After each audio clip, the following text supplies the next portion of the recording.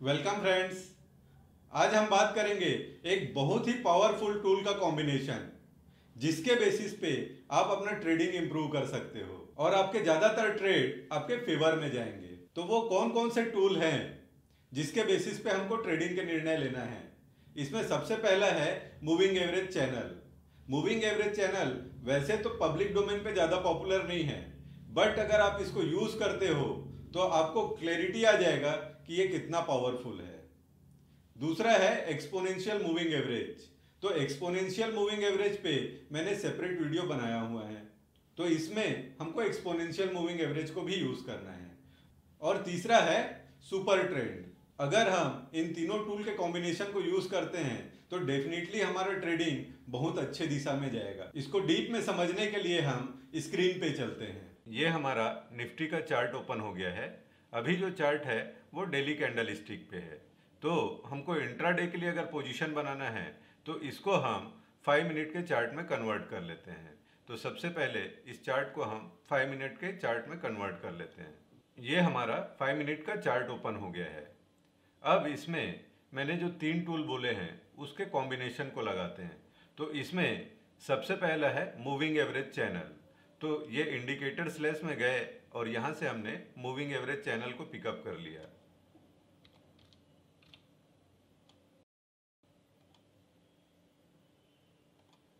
ये हमारा moving average channel का लाइन ड्रॉ हो गया। अब इसका डिसिप्लिन यही है कि जब प्राइस मूविंग एवरेज चैनल के ऊपर हो तो हमको बाई साइड में जाना है। अगर प्राइस मूविंग एवरेज चैनल के नीचे है तो हमको सेल साइड में जाना है। ध्यान यही रखना है कि जब प्राइस मूविंग एवरेज चैनल के बीच में हो तो ये नो ट्रेडिंग जोन होता है। तो यहाँ पे सबसे ज़्यादा लोग फंसते हैं। जैसे जो लोग ऑप्शन बायर होते हैं, उनको सबसे ज़्यादा तकलीफ़ इसी एरिया पे होता है। क्योंकि वो मूविंग एवरेज चैनल के बीच में ही उसको एंट्री कर लेते हैं। और इस पर्टिकुलर जोन में क्या होता है कि प्राइस में मूवमेंट लंबे समय तक नहीं आता है। तो उनका प्रीमियम डिके हो जाता है। इसीलिए जो ऑप्शन बायर होते हैं, वो यहाँ पे फ्रस्ट्रेट होके बार बार ट्रेड करते हैं। जबकि यहाँ पे ट्रेडिंग का पोजीशन बनता ही नहीं है। तो इस पोजीशन को अवॉइड करना चाहिए। जो कैश में ट्रेडिंग करते हैं, उनको भी पता होना चाहिए कि जब नेरो चैनल में है तो इस समय बेहतर है कि हम वेट कर लें और जब price decisively moving average channel के ऊपर क्लोजिंग दे, तब जाके हमको एंट्री करना है। तो मूविंग एवरेज चैनल में सिर्फ़ हमको तीन चीज़ का ध्यान रखना है। जब प्राइस मूविंग एवरेज चैनल के लाइन के ऊपर हो तो हमको बाई साइड में जाना है अगर प्राइस मूविंग एवरेज चैनल के लाइन के नीचे हो तो हमको सेलिंग का अपॉर्चुनिटी ढूंढना है। और अगर प्राइस मूविंग एवरेज चैनल के बीच में हो या उससे चिपका हुआ हो तो उस समय हमको पोजीशन को अवॉइड करना है, क्योंकि वहाँ पे एक कंसोलिडेशन का पोजीशन बनता है। अब मूविंग एवरेज चैनल के साथ हम एक और इंडिकेटर लगा देते हैं मूविंग एवरेज एक्सपोनेंशियल या ईएमए तो इंडिकेटर स्लैश में गए और यहाँ से हमने मूविंग एवरेज एक्सपोनेंशियल लगा लिया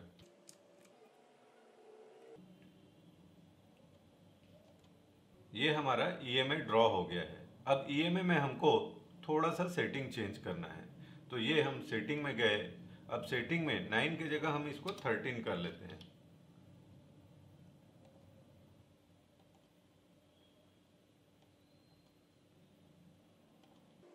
ये हमने ईएमए का सेटिंग चेंज कर दिया है। तो ईएमए में हमको यही ध्यान रखना है कि जब ईएमए की लाइन के ऊपर अगर प्राइस हो तो वो पॉजिटिव होता है। मतलब उसके ऊपर जाने की संभावना ज़्यादा होता है। और जब प्राइस एक्सपोनेंशियल मूविंग एवरेज की लाइन के नीचे हो नीचे हो तो चांसेस है कि वो प्राइस नीचे की ओर जाएगा। अगर ये जो एक्सपोनेंशियल मूविंग एवरेज का जो लाइन है, उसी के बीच में अगर प्राइस का मूवमेंट हो रहा है तो वो एक कंसोलिडेशन का निशानी है। तो यहाँ पे आप देख सकते हो, अगर आप ईएमए को मूविंग एवरेज चैनल के साथ यूज़ करोगे तो जब ईएमए का लाइन मूविंग एवरेज चैनल के लाइन के बीचों बीच हो तो क्लियर है वो कंसोलिडेशन का निशानी है। तो इस पर्टिकुलर जोन में हमको ट्रेड करना ही नहीं है। तो जो भी इस पर्टिकुलर जोन में ट्रेड करेगा, या तो वो फ्रस्ट्रेशन में गलत ट्रेड लेगा, या फिर उसके प्रॉफिट होने की संभावना बहुत कम है। हमको अगर इन दोनों कॉम्बिनेशन को देखना है तो जब प्राइस एक्सपोनेंशियल मूविंग एवरेज का जो लाइन है, वो मूविंग एवरेज चैनल के लाइन को ऊपर की ओर क्रॉस कर दे, तभी हमको एंट्री करना है। या अगर हमको डाउन साइड का पोजीशन करना है या शॉर्ट सेलिंग करना है तो हमको यही ध्यान रखना है कि एक्सपोनेंशियल मूविंग एवरेज का लाइन जब ये मूविंग एवरेज चैनल को नीचे की ओर ब्रेक कर दे, तब जाके हमको डाउन साइड का पोजीशन बनाना है। अब इसमें ध्यान रखने वाली बात यही है कि अगर ये एक्सपोनेंशियल मूविंग एवरेज का जो लाइन है, वो मूविंग एवरेज चैनल की लाइन को एक अच्छे एंगल के साथ क्रॉस करता है तो वो रेजिलियंट होता है। अगर उसको पैरेलली क्रॉस करता है या उसके जो लाइन है, उसमें एंगल बहुत कम होता है तो वो चांसेस है कि इसका जो मूवमेंट है, वो लिमिटेड रहेगा या थोड़ा सा ही मूवमेंट आएगा। तो अगर आपको इसके बेसिस पे भी जज करना है कि यहाँ से मूवमेंट बड़ा आएगा या छोटा आएगा तो वो आप जो मूविंग एवरेज चैनल के लाइन को ई ने जो क्रॉसिंग किया है, उसके बीच के एंगल को जज करके भी कर सकते हो। तो यहाँ पे आप देख सकते हो कि मूविंग एवरेज चैनल के लाइन को एक शार्प एंगल के साथ इसने क्रॉस किया है और जो प्राइस है, वो मूविंग एवरेज चैनल के ऊपर क्लोजिंग दिया है और ये जो कैंडल है, वो एक बड़ा कैंडल बना है। तो यहाँ पे एक संभावना बनती है हमारी एंट्री की। और यहाँ पे ईएमए ने भी हमको कंफर्मेशन दे दिया है कि यहाँ से प्राइस ऊपर जाएगा। और यहाँ का जो एंगल है एंगल भी बता रहा है कि जो प्राइस है वो बड़ा मूव आ सकता है। तो यहाँ पे हमारा एंट्री बनता है। तो अगर यहाँ पे आप देख सकते हो जो लेवल है वो 16,500 का है। और अगर इसके बेसिस पे ही हम निर्णय लेते तो यहाँ पे जो पोजीशन बन रहा है वो 16,707 का है। तो 200 पॉइंट का मूव आया है। तो अगर ई e का लाइन एक सर्टेन एंगल के साथ या शार्प एंगल के साथ इसको क्रॉस करता है तो वो एक बड़ा मुँह की निशानी होता है। अब यहाँ पे आप देख सकते हो एक्सपोनेंशियल मूविंग एवरेज का जो लाइन है, वो मूविंग एवरेज चैनल के बीच में घुस गया है। तो इस बीच में तो कोई मूवमेंट आएगा नहीं। तो इस बीच में हमको या तो प्रॉफिट बुक कर लेना है या बाहर रहना है। कोई पोजीशन को कंटिन्यू नहीं करना है। तो ये दोनों कॉम्बिनेशन बहुत ही पावरफुल है।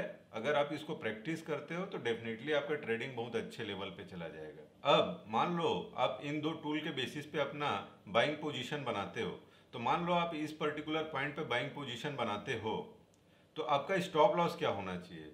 तो स्टॉप लॉस जैसे ये कैंडल एक बड़ा कैंडल बना है, जो डिसाइसिवली मूविंग एवरेज चैनल के लाइन को क्रॉस किया है। तो इस पर्टिकुलर कैंडल का जो बॉटम है वो मेरा स्टॉप लॉस होगा। तो अगर इस बॉटम लाइन को मैं अपना स्टॉप लॉस मान के अपना पोजीशन कैरी ओवर करता हूँ तो मुझे एक अच्छा प्रॉफिट हो सकता है। अब इस टूल को अगर फर्दर वेरीफाई करना है तो सुपर ट्रेंड से आप वेरीफाई कर सकते हो। बट बहुत ज़्यादा टूल लगाने की ज़रूरत नहीं है, क्योंकि अगर आप बहुत ज़्यादा टूल यूज़ करते हो तो आपको डिसीज़न मेकिंग में दिक्कत होता है। इसीलिए मिनिमम टूल का उपयोग करना चाहिए। जैसे ये दोनों कॉम्बिनेशन खुद में इतना पावरफुल है कि आपको हर दिन अच्छा खासा प्रॉफिट बना के देगा। हर दिन एक बार तो ज़रूर मौका आएगा कि आप बहुत अच्छा प्रॉफिट बनाओ। आप बार बार ट्रेडिंग करोगे या बार बार पोजीशन लोगे तो उसमें नुकसान होने की संभावना है, क्योंकि ओवर ट्रेडिंग हमेशा डेंजरस होता है। क्योंकि वो आपको साइकोलॉजिकली एक बैरियर में बाँध देता है। जैसे अगर आपने फ़र्स्ट हाफ़ में अप ट्रेंड देखा है तो सेकेंड हाफ़ में अगर डाउन ट्रेंड का पोजीशन बनता है तो भी आप डाउन ट्रेंड का पोजीशन नहीं ले पाओगे और आप हमेशा अप ट्रेंड का पोजीशन देखोगे। और जैसी प्राइस में अपमूव आने लगेगा, आप एंट्री कर जाओगे और फिर वहीं से वो पलट जाएगा।